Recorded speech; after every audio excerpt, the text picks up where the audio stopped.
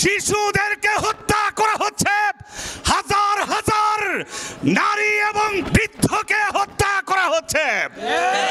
শুধু তাই নয়, জাতিসংঘের মধ্যে যখন এই ফিলিস্তিনি মুসলমানদের হত্যার বিরুদ্ধে নিন্দা প্রস্তাব আনা হয়েছে, যুদ্ধ বন্ধের প্রস্তাব আনা হয়েছে, এই যুদ্ধ বন্ধের বিরুদ্ধে একটি পশ্চিমা দেশ ভেটু প্রয়োগ করে এই প্রস্তাবকে বন্ধ করে দিয়েছে।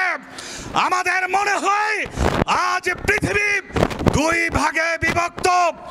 একদিকে আছে উম্মতে মুহাম্মদী সাল্লাল্লাহু আলাইহি ওয়াসাল্লাম, আর একদিকে আছে ইসলামের দুশ্মন, আল্লাহর দুশ্মন, আল্লাহর রসুলের দুশ্মন।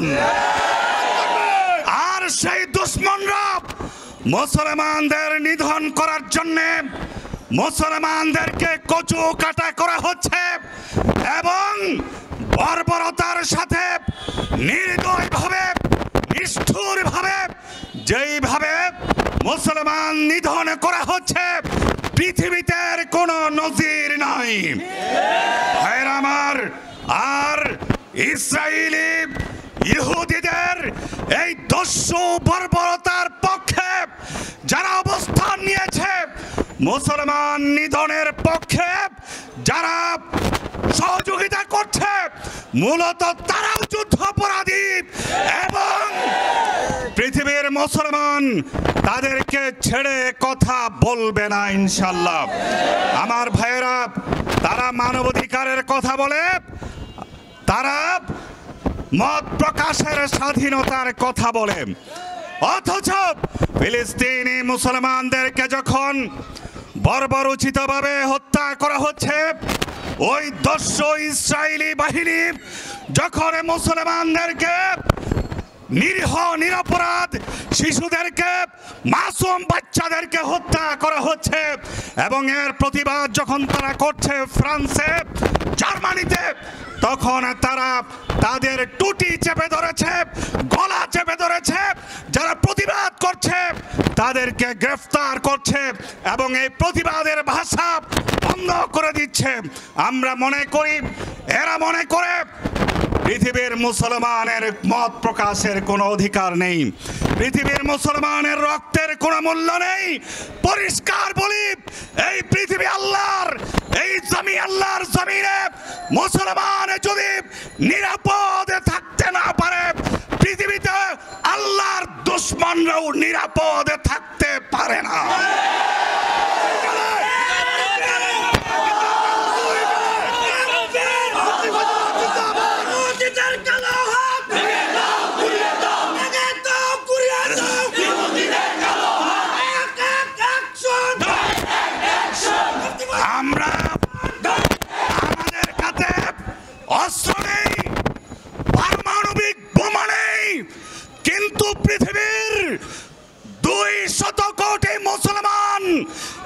দুই শত কোটি মুসলমানের চারশত হাত রয়েছে। আমরা এই চারশো হাত নিয়ে ওই বর্বরদের ওই অত্যাচারী শাসকদের মোকাবেলা করব মোকাবেলা করব মোকাবেলা করব ইনশাল্লাহ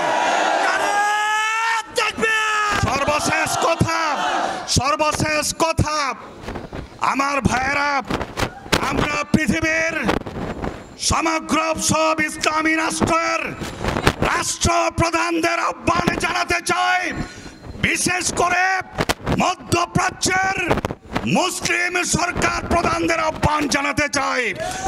আপনারা ঘোষণা করুন যারা ইসরায়েলের পক্ষে অবস্থান নেবে। যারা মুসলমান নিধনে অংশগ্রহণ এবং সহযোগিতা করবে, তাদের জন্য আপনারা বন্ধ করে দিবেন। এবং সমগ্র পৃথিবীর সব ইসলামী মুসলিম রাষ্ট্র প্রধানদের আমরা আহ্বান জানাতে চাই যে ইসরায়েল এবং ইসরায়েলের যারা সমর্থন করে, ইসরায়েলি বর্বরতাকে যারা সমর্থন করে, তাদের সাথে কূটনৈতিক সম্পর্ক ছিন্ন করবেন। এবং আমাদের লাগাতার আন্দোলন চলবে।